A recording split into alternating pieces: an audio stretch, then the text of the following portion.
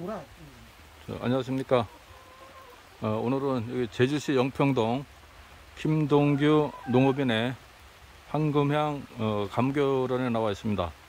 어, 오늘도 변함없이 김용호 박사님께서 황금향 관리 요령에 대해서 설명해 주시겠습니다. 네, 안녕하세요. 예, 안녕하십니까? 황금량은 충전 다 열어, 열어갖고, 이제 뭐 했는데, 황금량은 감귤 중에서 천견하고 황금량이 아직이 굉장히 많아요. 예. 이거는 작년에 언제 수확해놨고 작년은 12월 한 2일에서 10일 사이에 그는 천정연 거는 무사 천정연. 저건 저희 대방지하기는 저기 태풍이나 이런 거 맞아서 음. 한저 7월 달부터 열어가지고 음. 그 10월 초까지 열어서 놔둡니다. 10월 초까지 뭐고이 네. 태풍만 태풍만 이제는 안 올 것 같으면은 태풍 발생하기 전에 제주도나 일본 쪽으로만 가버리면은 그때부터는 천도 내려야 돼. 이거는 스트레스를 줘야 저 당이 올라가는 거예요. 그러니까 잘 문제가 음. 황금향 같은 경우에는 음. 당도 못 올려. 어? 당도 못 돼. 예, 예, 그러나 물이 많으면 안 된다. 이거는 우리가 그러나 9월 그러니까 9월 말쯤 되면 자청 한 달 동안은 물 주지 말아야 돼. 아예 아예 물 주지 말아야 해. 그냥 물 주지 말고 그러면 이것은 과거에 많이 했다가 이제 전부 품종 인생 다른 걸로 다 가버렸잖아. 요 예. 그러면 이제 남은 품종 가지고 이제 희소성 내지 당을 높여면 이제 돌볼 생각해야 돼. 예. 어? 그래서 아까 말했지만은 길을 맞추지 않는 것이 좋겠다. 예. 응. 그거 명심하겠습니다. 그거 반드시 하고 아까 열매는 여긴 큰데 여긴 전대냈지. 예, 저, 저, 저, 저쪽은 막 큰데 여기는 막 그럼 제가- 여기는 가을 되면은 예. 이렇게 해주면 이렇게 이렇게 큰 순만 남경이 네. 이거 싹 다듬어도 딱 끝에만 예. 여기는 열매 그 봉전 가을 전쟁을 하려는 말일까? 가을 이거 다 해야 돼. 그러면 이제 열매 열매 어신 게 있고 있잖아요. 예. 이런 거 다 이거 손 봐야 돼 이거 이거 이거 이렇게 이렇게 된 거 이렇게 되면은 이렇게 되면은 이거를 여기에 하면은 자 이거 넘었잖아 하여튼 여기 해서 이런 식으로 이런 식으로 가이 예. 어, 이거 나게 자르지 말아야 할 건데 그쪽 해주면 내년에 총상화나 아 그러게 총사가 안 나와 거안 어안 나와 안 나와. 그러니까 순이 이렇게 돼 이렇게 된 거는 요렇게만이 예. 어, 이거만 해줘. 이. 그럼 열매가, 그럼 여기가, 열매가 다 끝에만 달렸어. 이. 예. 유, 유인해줘, 유인해줘. 아까 저 가운데 싹 동서남북으로 싹 유인해주면은 가운데 순하고 그렇게 뭐 된다고. 예.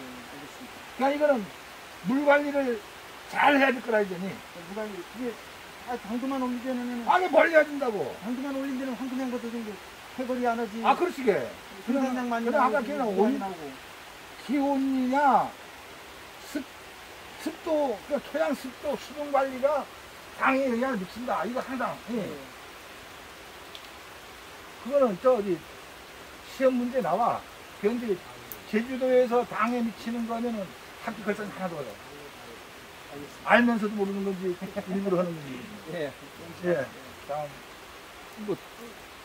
그뭐뭐 더. 예, 질문은 어, 어, 아까 같이 질문했던 것처럼 뭐당 올리는 거, 어. 황금향 제일 일량이 그겁니다. 다른 건 문제 하나도 없고.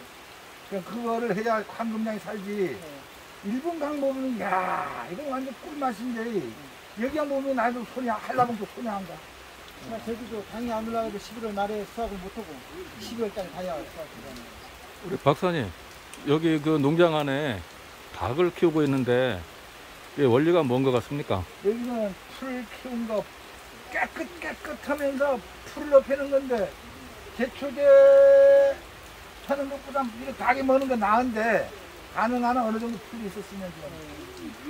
뭐 여기는 우거지니까 이 벌써 그늘이 됐거든 여기는 이 음지가 된 거라 이렇게. 그냥 여기가 독립수만두랑 더 해놓으면은 며칠 지나면 아래 풀 안 나. 여기 요 사이만 조금 나지. 그런 식으로 앞으로 독립을 해가지고 아 독립수도 해야 돼. 수박 확대가 돼야 아 그렇지. 수량이 많이 나오지. 응. 이런 식으로 수량이 좀 적어져요. 아, 저거, 저거. 일단은 간벌 해야 돼. 예, 간벌에 유인하지 않으면 안 돼. 명심하겠습니다. 그냥 지난번에 강정 갈 때, 그 고도준 시대 농장강 봐야 되는데, 그걸 안 봐보니까 지금 다른 사람들 모두 개조 시켜버렸거든요. 예. 그러니까 이제 1등에서 꼴등으로 가면 되더라고. 분발하겠습니다. 어. 뭐 이 황금양 관리 요령에 대해서 뭐 김 박사님 오시는데 또 지- 저기 뭐 질문이 있거나 뭐 필요한 거 있으면 한번 듣는 시간 한번 가지고. 아니 가- 황금향은 그렇게 어려운 품종이 아니고 아까 제, 제일 무난 농가에 제일 편한 품종입니다. 근데 문제는 당못 올려가지고 당만 올려줄 수 있다면은 이거보다 또 맛, 맛이나 이런 게 다 좋고 하니까 소비가 그렇게 많다고. 지금 나무에 과수가 달렸는데요. 이거 언제쯤 출하 예정입니까? 저희가 항상 12월 달 출합니다. 12월 달요? 한 원래는 좀 늦게 해서 당도 좀 많이 높여서 한 11, 11월 15일이나 15일에 어, 예. 어, 박사님 뭐 더 해주실 예. 말 없습니까? 예, 그러면 여기 저 현금양 관리 요령에 대해서는 이걸로 마치도록 하겠습니다. 수고하셨습니다. 고맙습니다.